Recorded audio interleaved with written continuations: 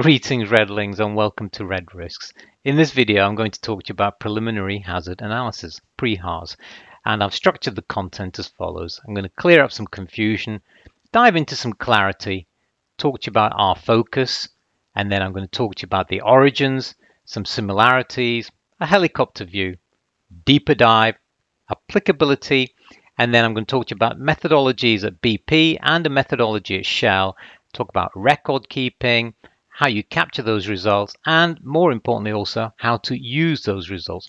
But I also want to talk to you about limitations. What are the limitations of a pre HAP? But before we dive in, I just want to say that we do have possibly a quiz and also a checklist. We do have an app, as you know, the Safer Working app, where we share this information through that app. And if all else fails, subscribe to the YouTube channel and I can keep you notified of content as it's delivered. Now, there's a lot of confusion about preliminary hazard analysis, uh, pre-HARS, and I've actually dived into quite a lot of research in preparing this sort of short video. And specifically, I referred to the uh, CCPS, which is the Chemical Center for Process Safety's guidelines for hazard evaluation process. And in fact, in the future, I'm going to do another video all about the different tools and techniques and risk assessments because I think it's definitely worthwhile doing. There's definitely a lot of confusion out there and people using acronyms in not the right way. So when you look at this um, uh, CCPS guideline, they actually have a section where in there talk about PHAs and pre-HARS. PHAs is the process hazard analysis. Most of you are very familiar with that, I suspect. The pre-HAR is the preliminary hazard analysis. There is a link to this document, and I will put it, it's on the slide, but I'll also put it in the descriptions of the video uh, on the YouTube channel and also on our website as well. So let's talk about pre-HARS. Now, in the CCPS guidelines, they actually do talk about it in this context. Process hazard analysis is directed towards analyzing potential causes, consequences of fires, explosions, etc., etc. It's very process-driven, very methodical, very structured.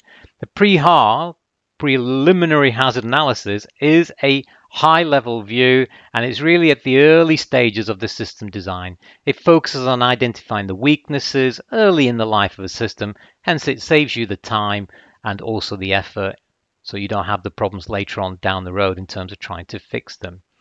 But where, where did it all start from? Well, the preliminary hazard analysis is a technique that came originally from the US military standard uh, safety program requirements, the MIL STD 882.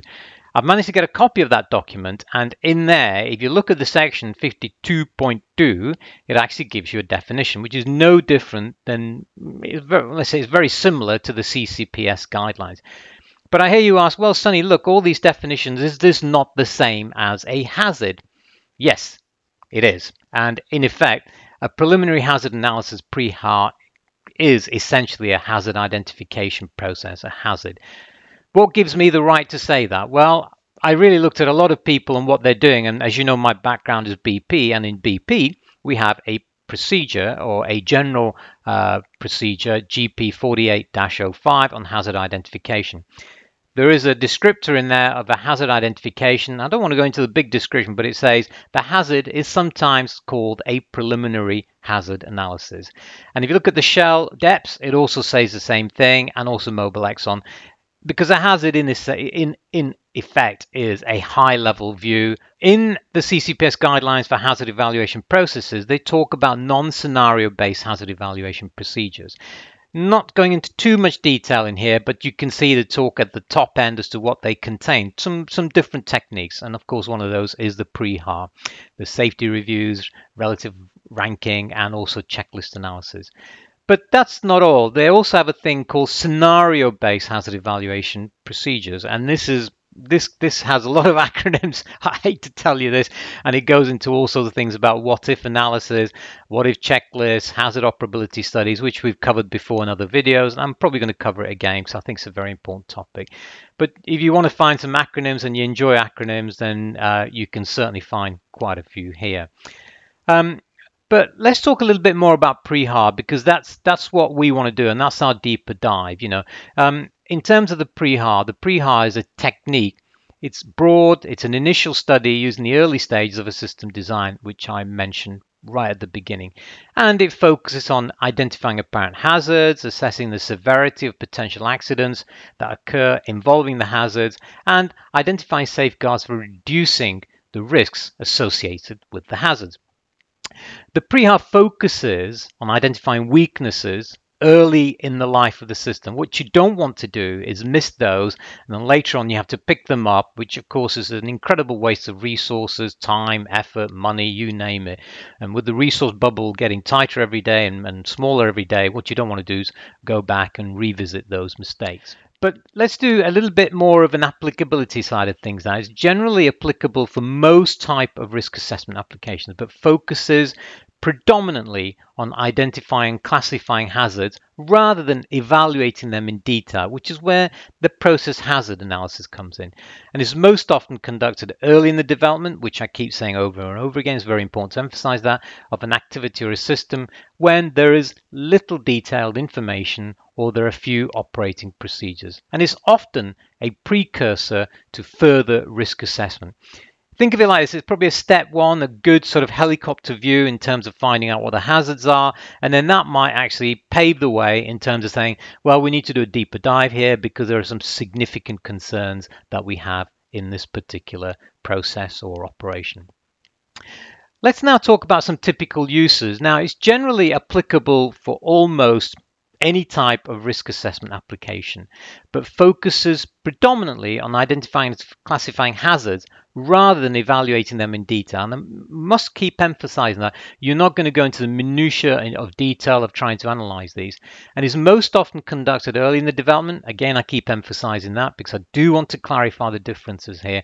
And when there is not enough detail, you know, there's little detailed information or there are a few operating procedures. Methodologies. I want to share with you some methodologies from my experience and, and certainly from BP, which is a company that I've had a long association with, and of course some other other oil and gas companies. Um, the steps are very straightforward. First, organize a study into systems, activities, or review areas to ensure inclusion of the full study scope.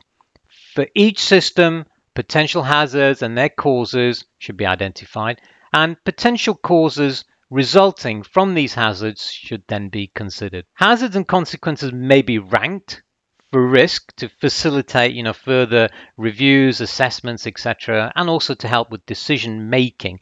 I'm saying help support decision making. It shouldn't be the absolute norm for making the decision and also, it looks at methodology looks at any existing safeguards that should be documented into the actual sequence of steps.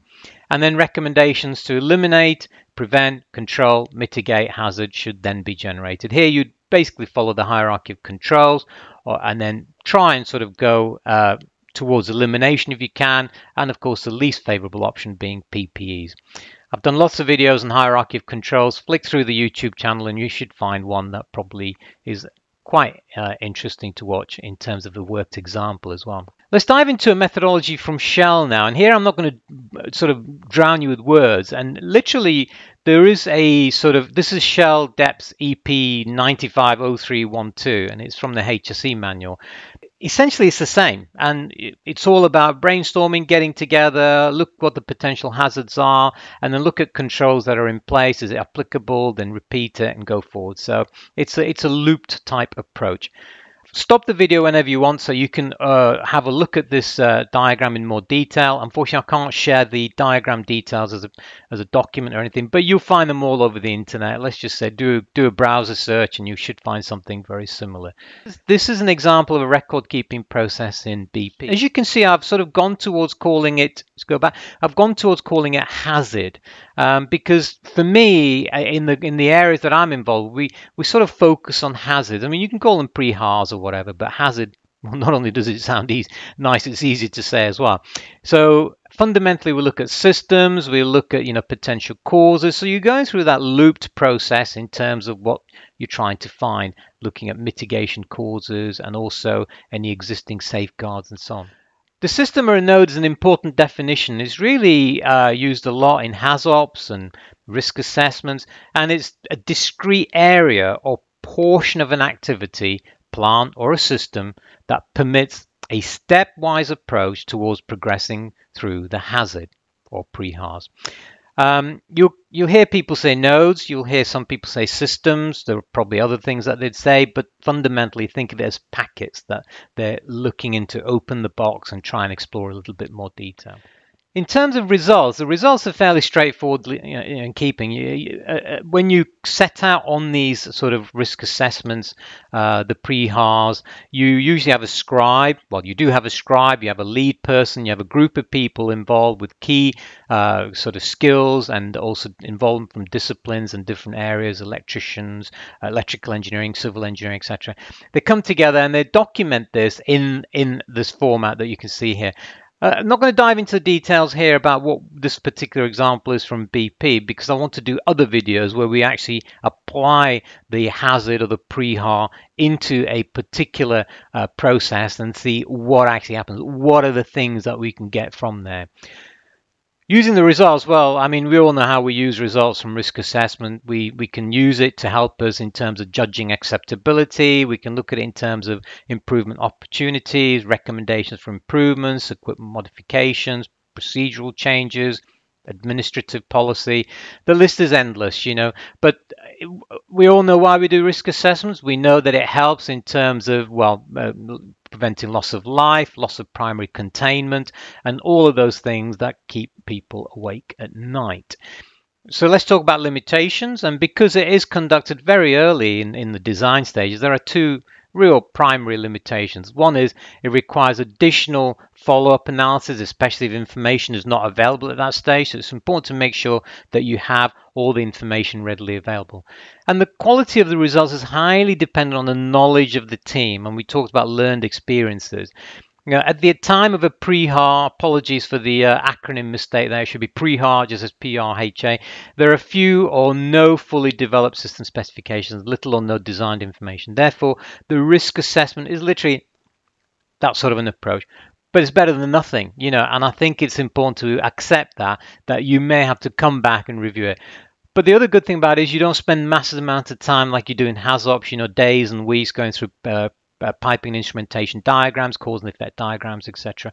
You you spend a little bit of time up front so you can get better rewards later on in terms of the detailed assessment.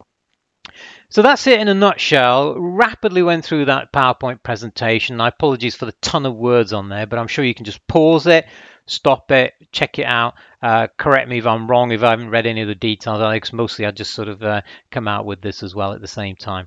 I just want to say thank you very much for listening to me on this video. And also, again, if you haven't subscribed, please subscribe to the channel. Uh, we are very keen to spread the message in terms of connect, share, and learn, and also appreciate any of your feedback as well. Once again, there might be a quiz, there might be a checklist, and there might be tools associated with it, which we'll point out into the descriptions on the YouTube channel. And of course, you know, you are more than welcome to subscribe to our CommuniSafe newsletter on LinkedIn. Okay, so that's it on this video, and thank you for well sharing your time with me and listening patiently to me as I've gone through the preliminary hazard analysis process. If you have any questions, let me know. Till next time, ciao.